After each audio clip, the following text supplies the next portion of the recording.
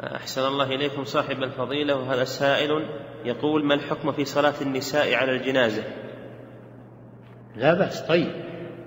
الصلاة على الجنازة مطلوبة من الرجال والنساء سواء صلينا خلف الرجال أو صلينا وحدهن على الجنازة لا بأس بذلك.